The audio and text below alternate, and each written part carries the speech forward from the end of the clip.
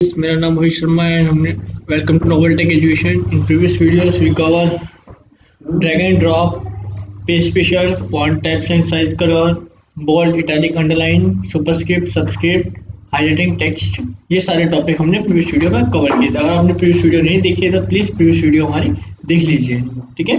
तो आज की जो टॉपिक है, हमारा फ़र्स्ट नेक्स्ट आता है कि टेक्स्ट अलाइनमेंट क्या होता है। टेक्स्ट अलाइनमेंट के लिए हमें अपना सॉफ्टवेयर में चलते हैं वापस, हमारे वर्ड पैड में। Word pad word word pad हम अपने आगे। अब यहाँ पर हमें जो भी काम करना है हम अपना कर, सकते हैं। फॉर एग्ज़ाम्पल जैसे हमने यहाँ मैंने फ़ाइल बना रखी है जिसके अंदर हमारा डेटा ऑलरेडी है। अब मेरे को काम करना जैसे फ़र्स्ट आ रहा है टेक्स्ट अलाइनमेंट क्या होता है? जहाँ पे हमने प्रीवियस वीडियो में हमने ये एरिया हमने कवर किया था। आज हम ये एरिया कवर करेंगे। फ़र्स्ट होता है टेक्स अलाइनमेंट टेक्स अलाइनमेंट होता है जैसे अभी मेरा डेटा लेफ़्ट साइड में है। मैं चाहता हूँ कि मेरे को इस एरिया को कंट्रोल ए किया, मेरे को इसे सेंटर में करना है, मैं इसे सेंटर में कर सकता हूँ। देखिए सेंटर में हो गया हमारा सारा डेटा इसकी शॉर्टकट की कंट्रोल ई भी होती है। कंट्रोल आर मैं चाहता हूँ राइट में आए मेरा डेटा तो मैं राइट में कर सकता हूँ। कंट्रोल एल मैं चाहता हूँ बाकी वापस मेरा डेटा लेफ़्ट में आ जाए। एक इसमें आता है कंट्रोल जे जस्टिफाई जो आपको यहाँ लास्ट में शो भी हो रहा होगा। कंट्रोल जे जस्टिफाई इसे हम कहते हैं। जस्टिफाई करता है बहुत साइड से इक्वल करता है लाइन्स को। जैसे आपने देखा होगा, ये लाइन्स हमारी जो है वो आगे पीछे है। कोई लाइन हमारी आगे जा रही है कोई पीछे जा रही है कोई आगे कोई पीछे। लेकिन लेकिन मैं चाहता हूँ कि वो ये लाइंस को जस्टिफाई करना चाहता हूँ। इक्वली हो जाए चारों तरफ़ से तो कंट्रोल जे करेंगे जस्टिफाई करेंगे। देखिए हमारी लाइन सारी जस्टिफाई हो गई है ठीक है? फिर आगे चलते हैं। आगे देखो लाइन स्पेसिंग लाइन स्पेसिंग क्या होता है? मैं चाहता हूँ एक लाइन के बीच में मुझे कितना स्पेस रखना है। तो मैं यहाँ लाइन स्पेसिंग ऑप्शन हमारा देखिए यहाँ पे शो हो रहा है।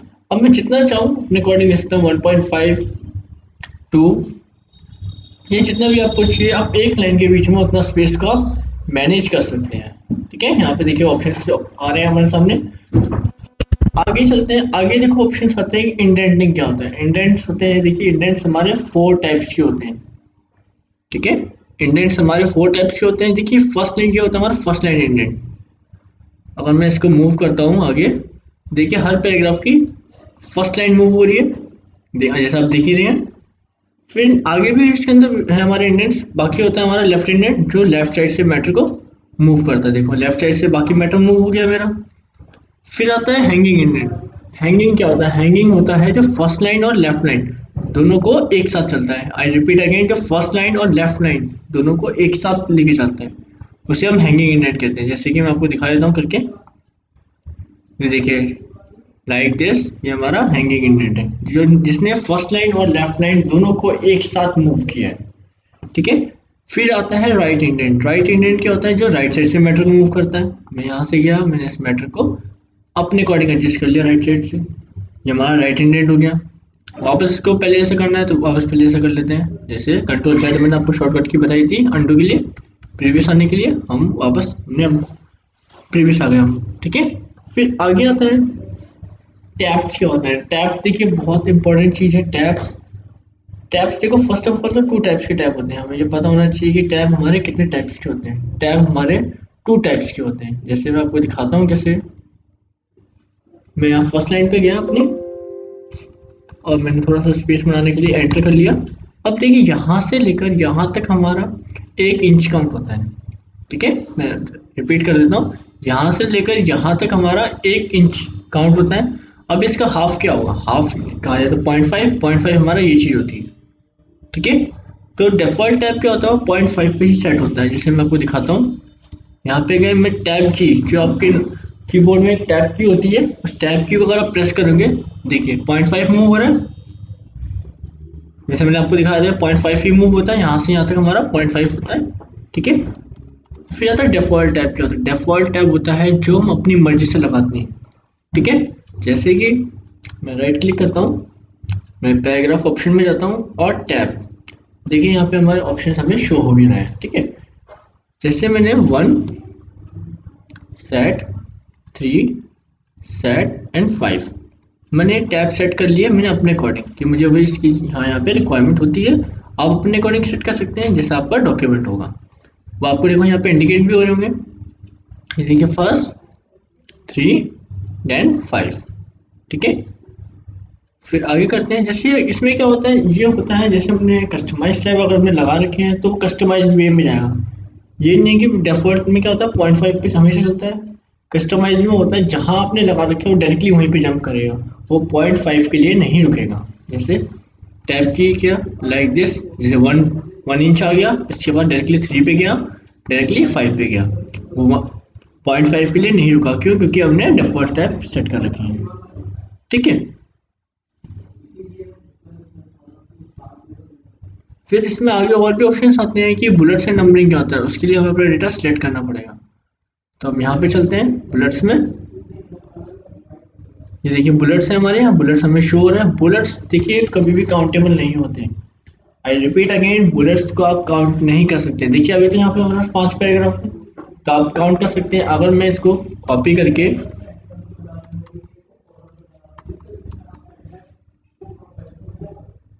पेस्ट मैंने कर लिया। देखिए यहाँ पे आप बुलेट्स आ रहे हैं। अब आप बता सकते हैं कितने कितने पैराग्राफ हैं ये? नहीं, क्योंकि बुलेट्स देखिए हमारा अनकाउंटेबल होते हैं। अगर यही चीज़ मैं कंट्रोल ए करते हैं हम, जैसे हमने अपना डेटा में आया, हमने कंट्रोल ए कर लिया। अब मैं इसको यहाँ से अगर मैं न्यूमेरिकल्स लेता हूँ तो ये हमारे काउंटेबल होते हैं। देखिए अब अब आप बता सकते हैं इजली ये कितने पैराग्राफ हैं? ये होता है बेनिफिट बुलेट्स एंड नंबरिंग का। बुलेट्स हमेशा अनकाउंटेबल होते हैं और न्यूमेरिकल्स हमेशा काउंटेबल होते हैं, ठीक है? फिर आगे होता है इंसर्ट पिक्चर मैं चाहता हूँ मैंने जो आज काम किया, इसके अंदर मैं पिक्चर इंसर्ट करना चाहता हूँ। तो पिक्चर इंसर्ट कैसे कर सकते हैं हम? यहाँ पे गए, देखिए नेक्स्ट हमारा पिक्चर के लिए आ रहा है इंसर्ट पिक्चर अब मैं चाहता हूँ कोई पिक्चर इंसर्ट करनी है। तो अब मैं पिक्चर इंसर्ट करने के लिए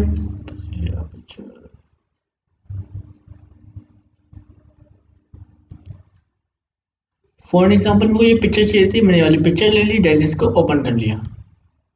देखिए जैसा आप देख पा रहे हैं कि हमने ये पिक्चर इंसर्ट कर लिया। आप चाहें तो कोई और पिक्चर इंसर्ट कर सकते हैं जो भी आपको पिक्चर इंसर्ट करनी है। नेक्स्ट होता है पेंट ड्राइंग पेंट ड्राइंग होता है आपको किसी पे, आपको पेंट सॉफ्टवेयर से कोई फ़ाइल लेके आनी है तो आप ला सकते हैं। उसकी शॉर्टकट की कंट्रोल डी भी होती है। फॉर एन एग्ज़ाम्पल मैं यहाँ पे पेंट में गया तो हमारा पेंट सॉफ्टवेयर ओपन हो गया। मैंने पेंट सॉफ्टवेयर में गया मैंने कुछ भी ड्रॉ करते हैं जैसे यहाँ पे। ड्रॉ कर लिया। इसका इसमें बाकी आप और भी ऑप्शंस कर सकते हैं, जैसे मैंने इसमें कलर फिल कर लिया, कुछ भी कर सकते हैं। मैंने ऐसे क्लोज कर लिया। तो देखिए, आ गया लाइक दिस ये पेज फिशन की तरह ही काम कर रहा है बिल्कुल, जैसे पेज फिशन में होता है। पेज फिशन में क्या होता है एज ऑब्जेक्ट फ़ाइल आती है, वैसे ही पर भी ऐसा ऑब्जेक्ट फ़ाइल हमारी आती है।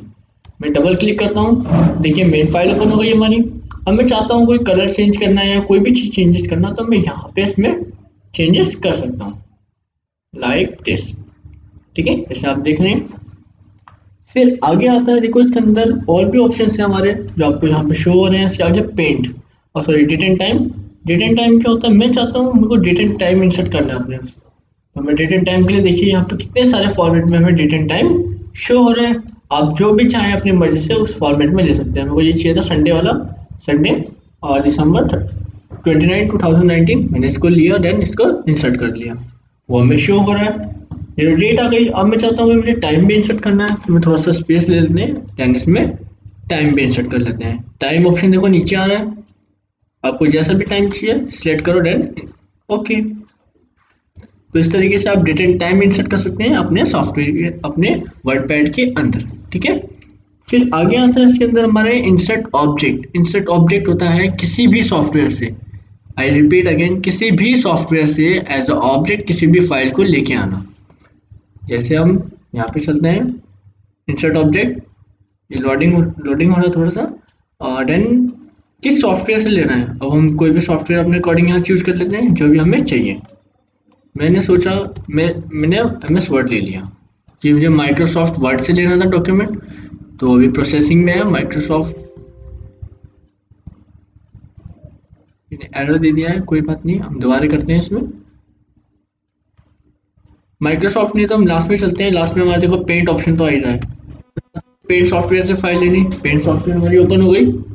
अब इसमें भी हमने ड्रॉ कर लिया कोई चीज़ जैसे लाइक दिस मैंने इसको ड्रॉ किया और इसमें कोई भी चेंजेस कर सकते हैं, जैसे हम प्रीवियस करते भी आए हैं। मैंने कोई भी कलर चेंज कर लिया या कुछ भी चीज़ चेंज कर ली, हमने यहाँ पे चेंज कर लिया और मैं इसे क्लोज कर लेता हूँ। तो देखिए, हमें शो हो रहा है, ये भी हमारा पेज स्पेशल की तरह ही आएगा, बिल्कुल ऐसा ऑब्जेक्ट मेरे को कोई चेंजेस करना है, मैं डबल क्लिक करूँगा, इसकी मेन फ़ाइल ओपन हो गई, आप यहाँ से इसमें कोई भी चेंजेस कर सकते हैं, ठीक है? सो आज आज के लिए इतना ही, बाकी don't forget to subscribe the Novel Tech Education I hope you like